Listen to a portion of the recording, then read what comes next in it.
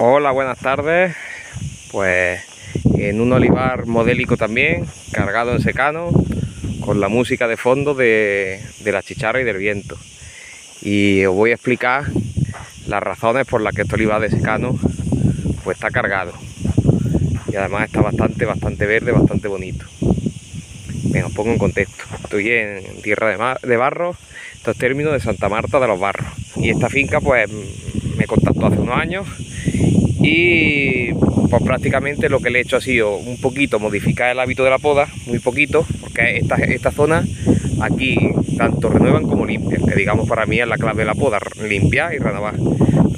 Pero ¿qué pasa? También ya están el defecto de aguantar demasiadas ramas y pelar demasiado por dentro.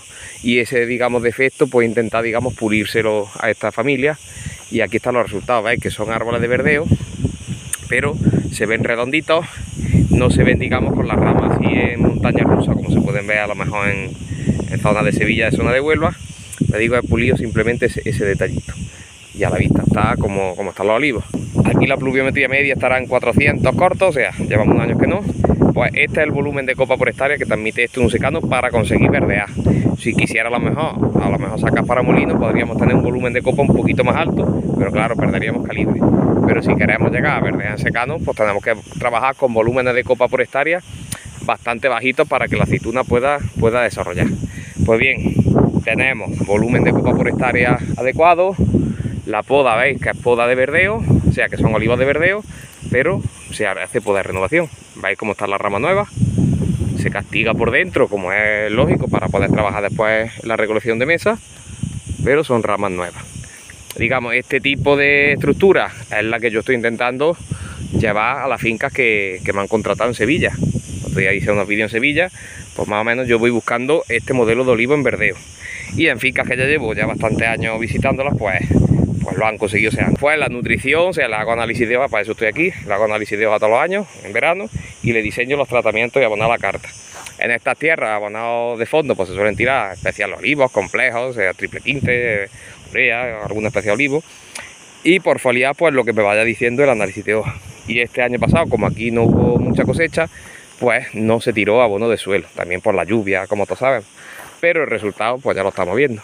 Con la poda y los tratamientos foliares, si, si digamos manejo correcto, pues podemos ver en esta finca con extracciones bajitas por el bajo volumen de copa por hectárea, que tampoco hace falta, digamos, una inversión grande en, digamos fertilizante y nutrientes. Ahí todavía se ve un poquito el cobre, ahí se ve el cobre.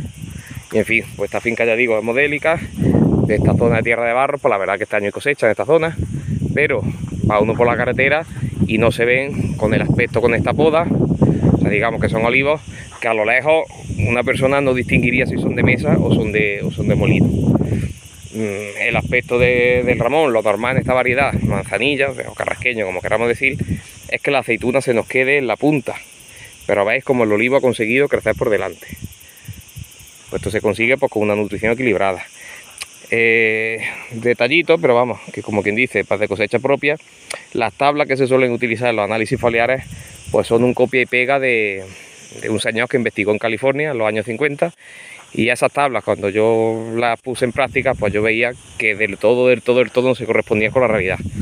O sea digamos yo mis tablas las tengo calibradas por mi digamos bajo mi criterio y según digamos mi experiencia. Por ejemplo este tipo de brotes es el que yo creo digamos que sería el correcto digamos en una finca sea un olivo sea la variedad que sea este brote por delante de la aceituna pues según las tablas que se suelen utilizar eh, te encuentras olivos que están, según las tablas, bien de nutrientes y no tienen estos brotes.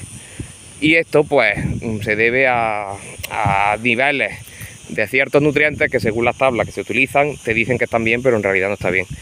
Yo he cuadrado mis propios, o sea, mis propias tablas de interpretación de análisis foliares, pues hay nutrientes que coinciden con esas tablas que se usan y otros que no.